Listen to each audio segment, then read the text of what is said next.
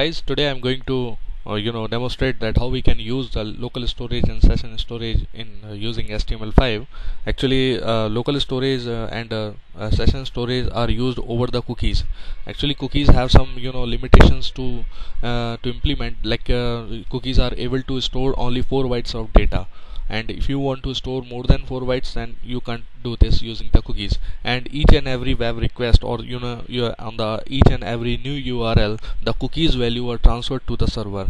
That is the drawback of the if server doesn't want to get the cookies data in that condition you are transferring it. And the network load is also increased through the cookies. So a new concept which is implemented or which is uh, you know given by the HTML5 that is the storage local storage and session storage. Using local storage you can store the 10 MB data user data on the user computer and there is no expiration time. Expiration time means that your data will be remain forever in the user computer. Still uh, uh, uh, still he didn't uh, clear the you know cookies or and uh, you know, clear the history of the browser. And using the session storage uh, the user data will be stored uh, only for the uh, single session. It means that when user is close the browser the user data is also lost. So these are the key value pairs only. So let's see that how the local storage and session storage can be implemented and how we can get the reference of them. So local storage I'm taking a local storage example local storage and this local storage first of all I want to check that local storage is supported or not and uh, to check it we can set local storage and just writing a if condition and in else condition I will write something. And uh, in this uh, if local storage is true it means that the local storage is supported by the browser itself. In that condition I'm just passing a simple string that is a document dot write and uh, uh, cookies local storage. Storage are supported.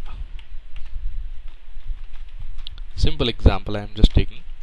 And uh, in the else condition I can pass another message that is not supported. Okay fine. Let me execute and see. It's supported. So my browser is supporting it and most of browsers support it so just taking a simple another example.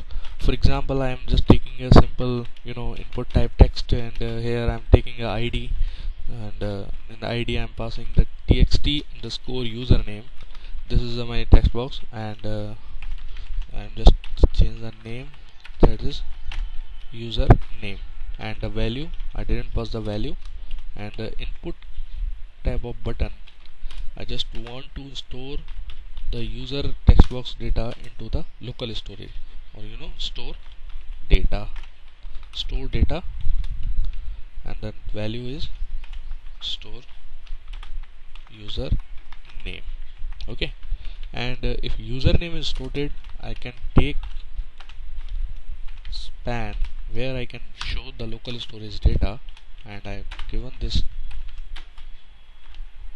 name span 1 okay so I will write the definition of the function which I am calling on the button click event. So just write function and store which method you have written into the on click event of the button. Store data and uh, I'm creating a local storage variable. Very simple. We can do this. Just write local storage and uh, the key. Whatever key you want you can store over here and uh, using the document document dot get element by id you can get the control value txt underscore username. And using the assignment operator you are passing the value of control into the local storage okay? So it's fine. And uh, on the page load event you can check on uh, load. I'm just writing a function. Get local storage. Storage. This is the simple function. I'm going to write the definition it into the JavaScript head section or you know HTML head section. So just write uh, function name function get storage and write a simple code that document dot uh, sorry local storage dot dot username is available in that condition. Using the document dot get element by id you can access the span1 dot inner html equals to local storage dot username. Simple. Just go and execute and see. So if I write like uh, yogesh.net it's my username store username storing. Now refresh it. You can have the local storage data over here. So how we can see the local storage data? Just go to the settings and uh, write local storage in the content settings and all cookies inside data. You will have the local storage data my local storage and uh, here I, you can see the 3 KB data has been stored over here and the you know port number. This is my local uh, local website port number where I can store the local storage data. So this is the way and it's a very faster and secure way to create the local storage. So in uh, another video not in another video I think it's uh, fine to write the session storage example session storage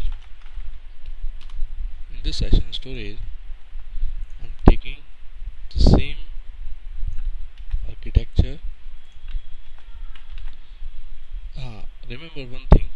If I close this browser and just copy the address of the application and uh, reopen the browser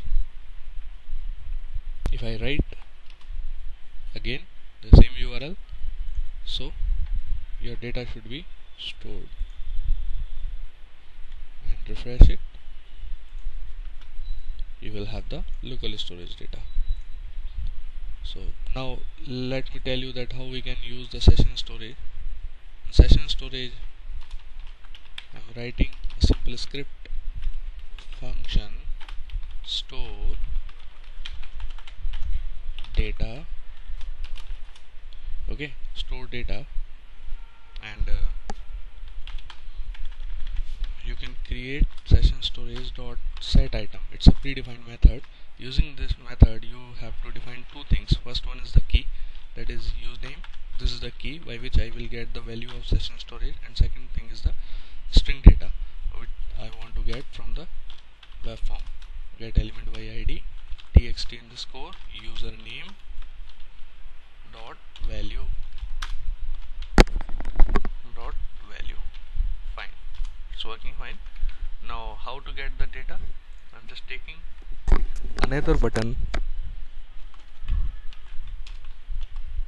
And uh, here I'm writing get username and changing the method name get data. And I am going to write the definition for the get data. This is the function. And uh, local uh, not local document dot get element by id span 1 dot inner html equal to session storage dot get item. It's a predefined method and uh, you will have to pass the key value of session storage which you have created previously. Here you know here you can see the uname is used over here and I'm getting the value. So ex again execute and see um, Vijay. And I am storing it. Store username get username. You can get the username from the you know session storage like this. Thank you for watching for this video and please subscribe my channel. I will upload various videos based on HTML5 ASP.NET MVC and uh, AngularJS and many more. Thank you